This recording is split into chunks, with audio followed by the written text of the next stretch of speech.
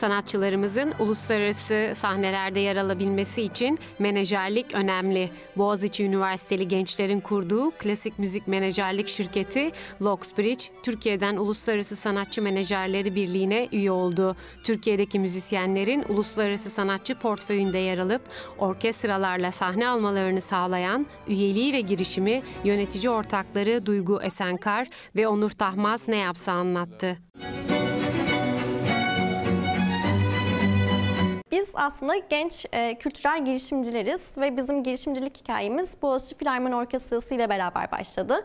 E, Boğaziçi Filarmoni Orkestrası bizim sanatçılarla sürekli iletişim kurabildiğimiz, e, onların neyden şikayetçi olduklarını ve neyi e, neyin daha çok olmasını istediklerini ve ne olursa eğer çok çok daha fazla ileriye gidebileceklerini gözlemlediğimiz, birebir dinlediğimiz, bazen e, elimizden geldiğince yardımcı olmaya çalıştığımız, aynı zamanda e, konser organizasyonuyla e, bir organizasyonun nasıl yapıldığını ya da pazarlama faaliyetlerine neye önem vermemiz gerektiği gibi aslında birçok kritik noktayı kendi kendimize deneyimlediğimiz ve öğrendiğimiz bir okul gibiydi Boğaziçi Filarmoni Orkestrası bizim için.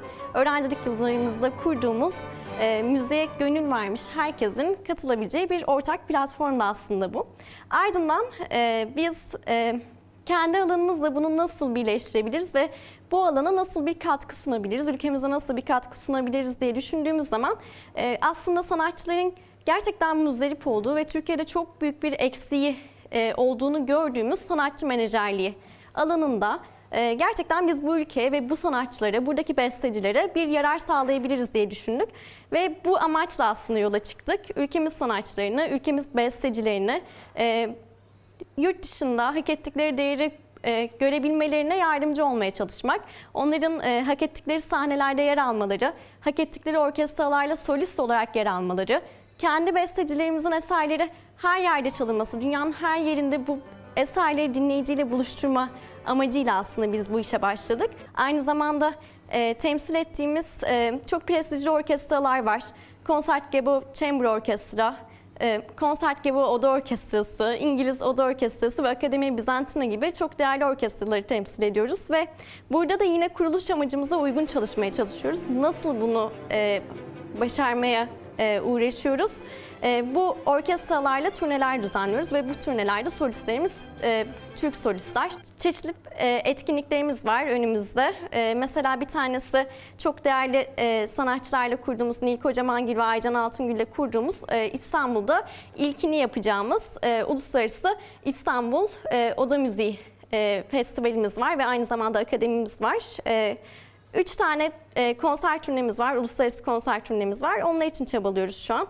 E, çalışmalarımızı sürdürüyoruz. Uluslararası Sanatçı Menajerleri Birliği'ne e, üye olan ilk Türk sanatçı menajerliği firması olduk.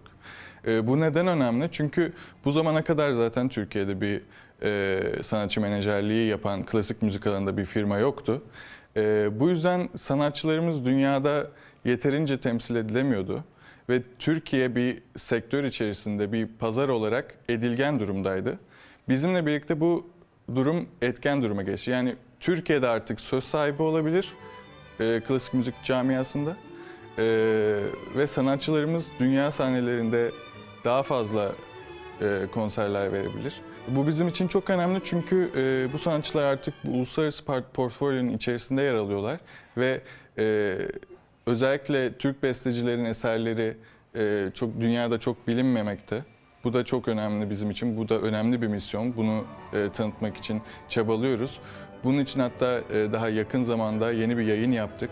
E, Türk bestecilerin konçertolar kataloğu diye. İngiliz Oda Orkestrası'yla e, Başarcan Kıvrak, piyanist ve Cem Babacan, piyanist, e, iki piyano konçertosu, Bruch'un iki piyano konçertosuyla e, bu Kasım ayında turneye çıkıyorlar. Şefimiz de Cem Mansur. E, Konsert Gebavoğlu Orkestrası'yla e, çok önemli bir orkestra yine. Nil Kocamengil, e, bizim temsil ettiğimiz cellist sanatçımız. Yine bir turneye çıkıyor. Klasik müzik alanında da çok güzel, çok orijinal içerikler üretilebilir ve bu Türkiye'yi özellikle bestecilerimizin eserleriyle dünyada çok daha güzel temsil edilebilir hale getirilebilirler. E, ve bunun için e, bu aynı zamanda Türkiye'nin temsili açısından dünya genelinde bir soft power olarak kullanılabilir. Özellikle sanatçılarımızın e, bu orkestralarla turneleri e, yine bu şekilde kullanılabilir. Çünkü daha önce böyle bu orkestra hiçbir zaman Türk bir sanatçıyla e, turnelere çıkmadılar. Bu neden? Çünkü artık Türkiye etken bir durumda ve Türkiye'nin de söz hakkı var. Ve Türk sanatçılar da bu orkestraların artık e, eriş, e, ulaşabilir olduğu sanatçılar.